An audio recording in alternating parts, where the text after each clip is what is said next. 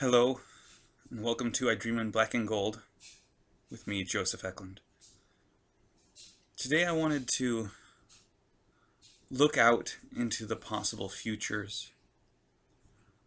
And in the same way we might look back at and say to someone who was a slave or a slave master, or just someone who didn't own slaves, but didn't consider a world without slavery. When we think about these kind of people, it's kind of hard for us to imagine what the worldview was like, what it was like to just consider that humans could be property of other humans, that people can explain things away to that extent where they will violently oppress and chain and kidnap and create legal structures to maintain that social order order. In a similar way if someone from a future society came back and talked to us and asked us how we could think that unconsented authority, not just in slavery, but in unconsented government, in involuntary statism. How that would just be an absurdity to them. And yet we explain it away. I have explained it away. I no longer would do that but how the majority of the people on earth today would explain away this classism, this true uh, classism, where certain people have the right to give away the inalienable rights of others. that we have, in the wider spectrum of society, have accepted this to be the case. I know that there was a an animation out on YouTube that is a wonderful illustration of this. It was based on a talk by uh, Larken Rose, excellent um, reasoner and anarchist, that has an alien comes to Earth. And first person the alien comes across says, Whoa, an alien! And he says, Should I bring you to our leader? And the alien is like, What's a leader? And the human's like, Well, the one in charge, the person who makes the rules, who is the leader of the people. And they have this sort of Socratic discussion in order to describe to the alien what leader is, what government is. And the alien is just confounded, like there you have somebody in charge of you? Like there's a person in charge of everything? There's is this a different species? What what is this government? And he's like, well, it, it's over there in the Capitol building. He's like, oh, is it a building? No, it's these politicians. Well, are the politicians a different species? No, they're just people.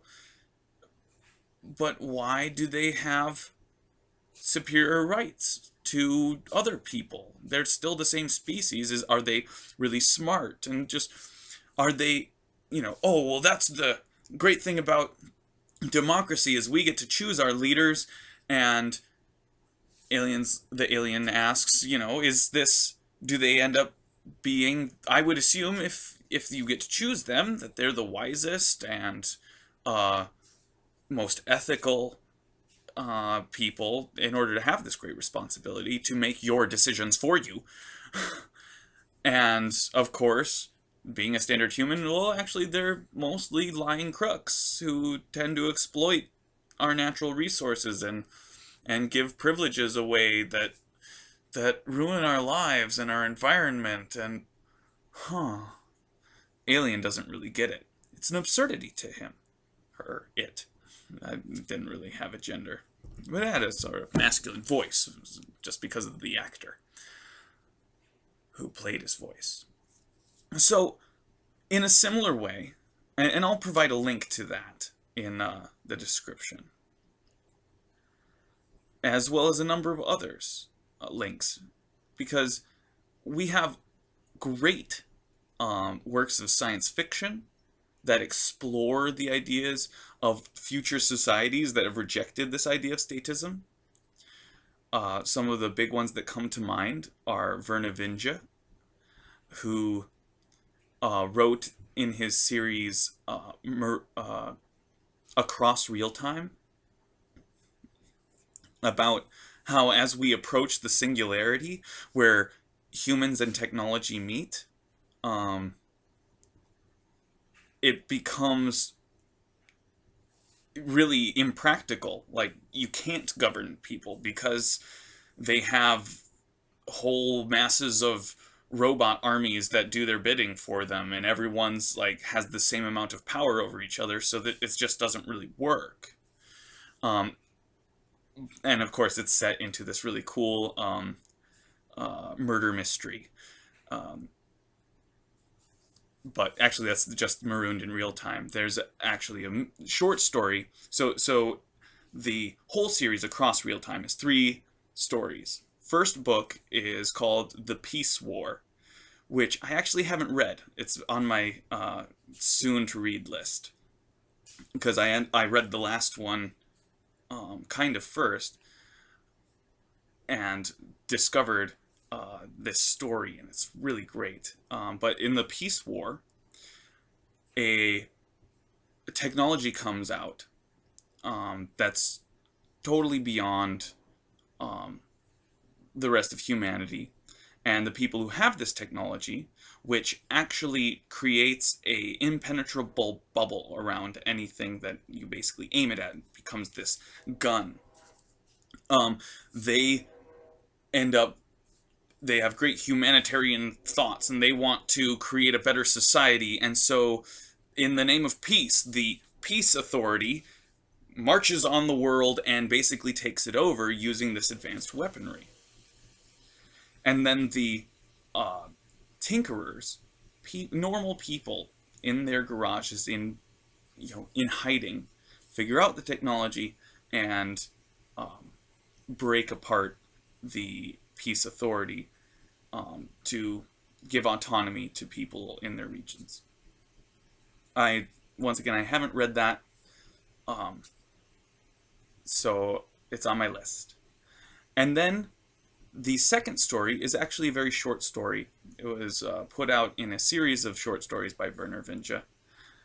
And it is called The, Un the Ungoverned.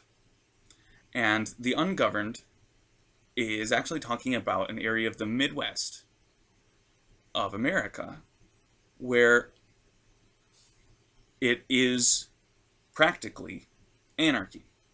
The protection services are provided by uh, agencies that are in working with insurance companies. They want to lower crime so that they can lower their rates to compete with uh, other insurance companies. And it's about a small, a relatively small time uh, detective and protection agency. Um, and it just shows the working of this in a practical, like, life, real life seeming story. It really seems like, yeah, these are real people. They make real decisions, and, and it's practical. And what happens is a neighboring state invades territory or property of uh, some clients of this of this protection agency and so how do they work with that? they're they're contracting, um, how they work with um, larger organizations to give them backup in order to defend themselves against uh, the state that's invading.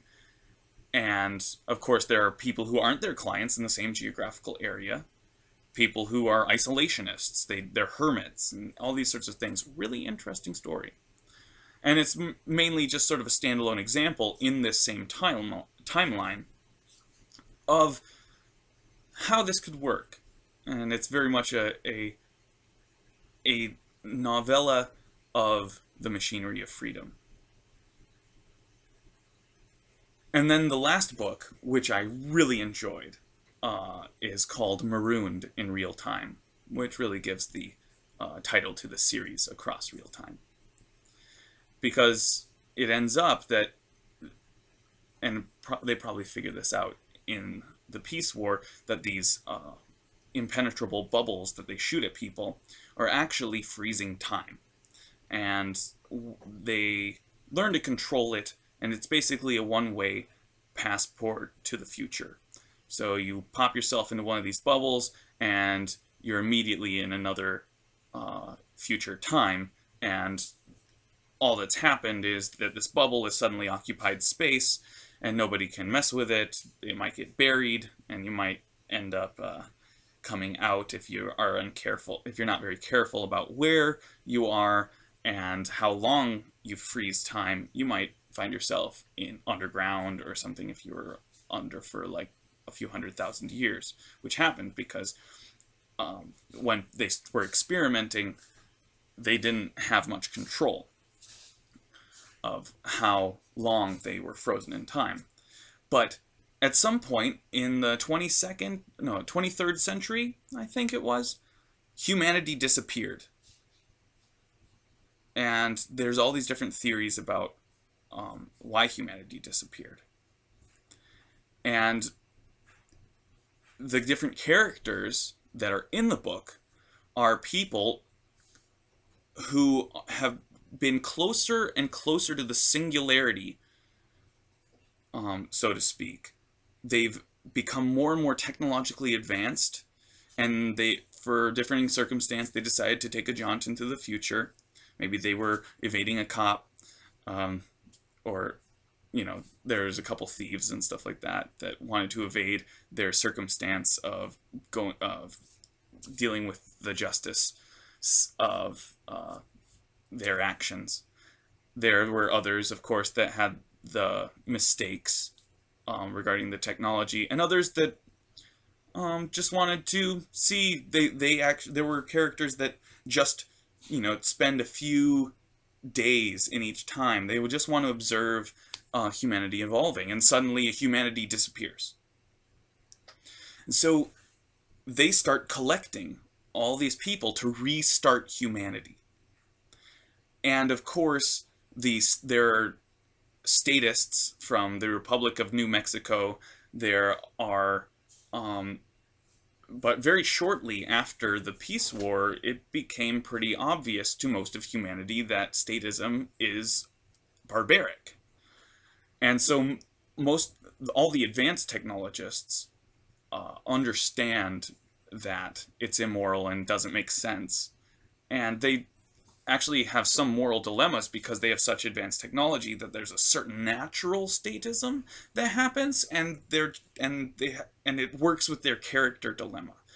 Um, in the midst of this, there is a murder that a detective is trying to figure out. And he's not the most advanced technologically, so he has to get some uh, some explanation from the more advanced humans. Really interesting story and really good questions about um, how humanity is going to evolve, how we merge with technology, or do we become energy beings, or what, you know, people traveling to other galaxies or solar systems, etc., to uh, find alien life really a great book. Vernor Vinge, The Peace War, The Ungoverned. The Ungoverned you can find online for free um, as a PDF. I would be interested in producing a just a reading for it. Maybe I'll produce it on YouTube if if that would be acceptable for by the author. Um, and then the uh, Marooned in Real Time. Marooned in Real Time is the third story so that was one of the uh, early books that I read that was explicitly uh, anarchist. as far as fiction. Um, the first book by Robert Heinlein that I read was Stranger in a Strange Land.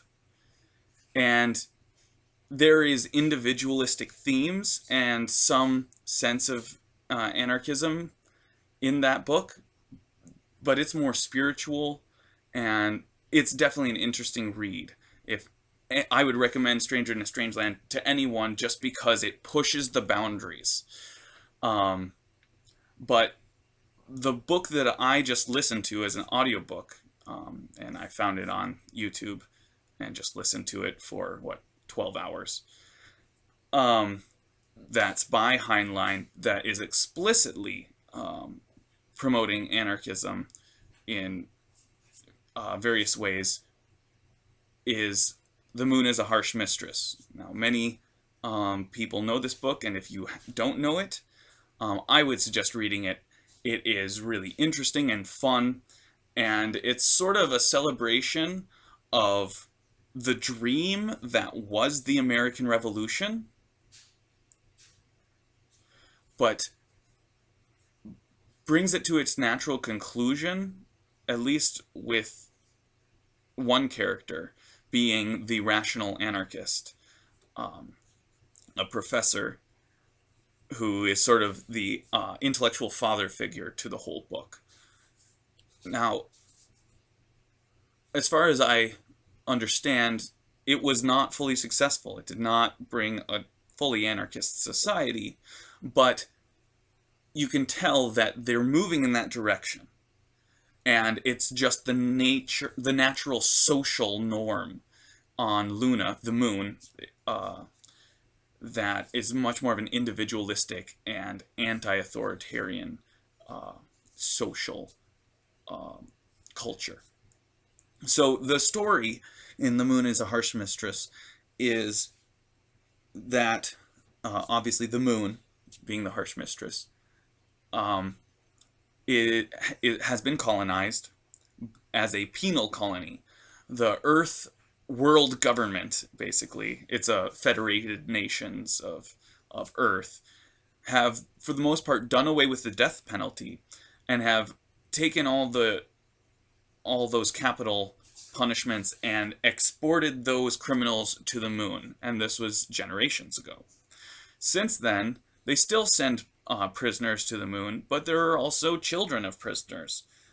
Um, and free people and immigrants to the moon. And there is no independent law.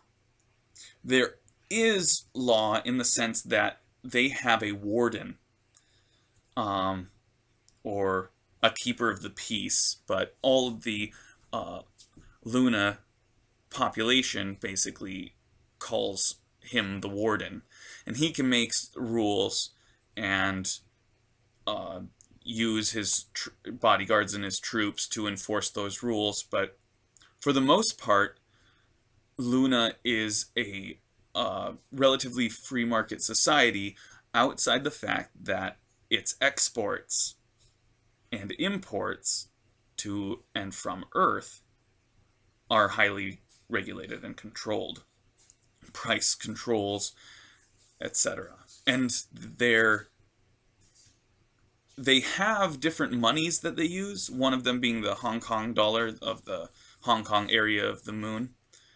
It's different cities that are a little bit confusing, but the Hong Kong uh, dollar is loosely pegged to gold, I think, whereas the authority dollars are the ones used by, um, I think, I think they're used by the Earth and the Moon Authority, but it might just be the Moon Authority being the warden and such. But in any case, the the trade of they they grow lots of crops under the moon using their power. They have lots of land, and the Earth is getting crowded. And they can produce much more using controlled environment. So they produce a lot of food for the Earth and and use the low gravitational escape that the moon has to send cheap shipments down. The hardest thing is uh, is getting certain resources back. But in any case, um, the main character, uh, Manny, uh, is a computer techie who he he's a troubleshooter and he works with the central computer of the moon colony. And he hasn't told anyone, but he's pretty sure that the computer itself has become self-aware to the point of actually uh, appreciating humor and analyzing humor. And and it even uh, says that it's lonely and wants to talk to not stupid people. And Manny ends up kind of by accident. He's a practical guy, not political. Um, ends up at a anti-authoritarian rally where the Lunas want to be independent of the authority. They want to be their own nation. And he ends up becoming friends with a woman, a rabble rouser, and they have discussions and he's like, hey, she's not stupid. So maybe I'll introduce her to my friend Mike, the computer. I'm not sure why his name is Mike. Maybe Manny named him Mike. But they start to realize that having the central computer of the lunar colony as a friend could be an invaluable asset to the revolutionary cause. And this sort of gives them the possibility of independence. Um, this combined with um, the intellectual guidance of the professor, and I forget his last name,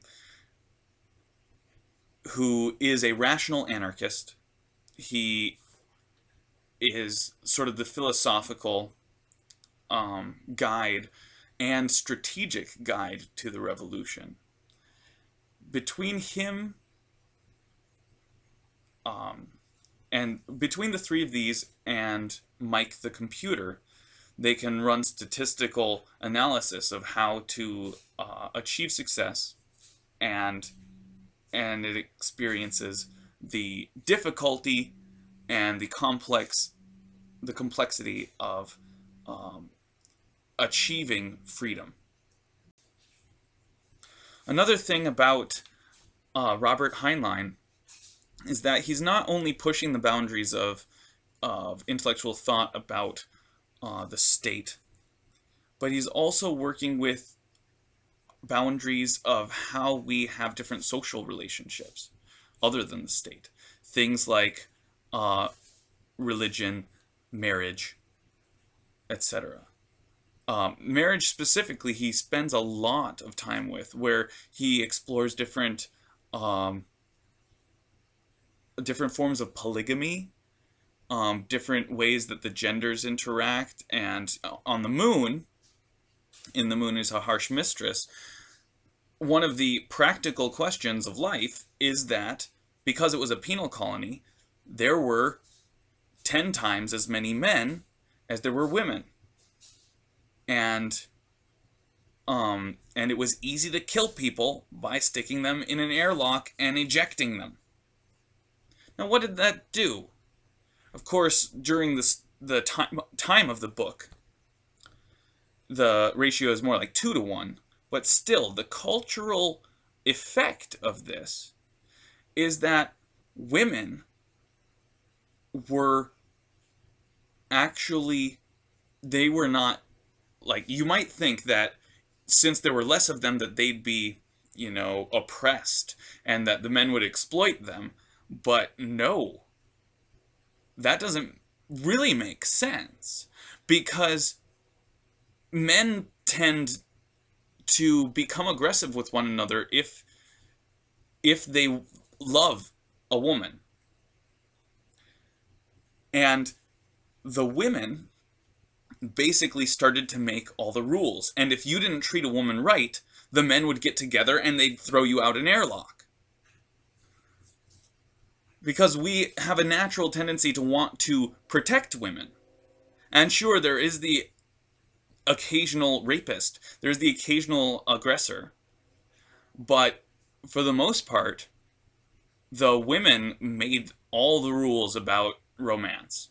The women started having uh, polyandrous uh, um, marriages where there would be many men, and they could divorce a man whenever they wanted. Um, but it actually started happening more and more where a woman would have more than one man and she would have a lot more resources. So this is this is an interesting exploration. Manny himself actually is a uh, proud advocate of a line marriage, and a line marriage is an interesting uh, social arrangement where, um, say, there's a married couple, and say you know they got married when they were uh, 18 and 16. You know they were younger and as they got older, they wanted to, um, well, for one, the woman might or the man might want another partner, and as long as they were all consensual, they would uh, unanimously uh, vote to marry another person. Now, what Manny's family had done for like a hundred years is they had married alternately a man, a woman, a man, a woman, just to keep things in balance, keep things, um, you know, even. And what this had done what was it concentrated the economic value and it created stability uh, for uh, the children and the social environment. The emotional um, work was not put on one woman, which is often the case with um, our relationships today is that men are not as emotionally communicative. And so they rely on women for their emotional uh, communication. And women want other women to talk to.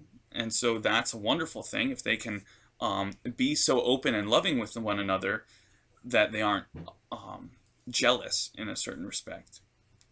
And same thing with men. Men then aren't having to support a whole family themselves, but they can be um, co-husbands and and support the family together. And they tried in Manny's case, they tried to keep everything very well balanced as far as age differences. There was, you know, like like almost a 60 or 70 year um, span of the different spouses. Not in between them, but um, as far as a the spectrum. You know, it's a grandmother in or not grandmother. Well, she is a grandmother, but um, the big mama uh, wife in her 80s, and the youngest wife, our husband, who's basically uh, like 18 or even 16 because it was also socially acceptable on on the moon because especially women um, are so venerated that as soon as they become uh, sexually active or, or interested, they basically have autonomy and nobody can control them because they get their say and and all the men would would protect their uh, say would enforce that uh, social norm you know social norms tend to be re self-reinforcing so anyway it's a really interesting book um, and I would love to explore some of these others, but I'll put a, a link to the audiobook and maybe even some discussions about that book as well.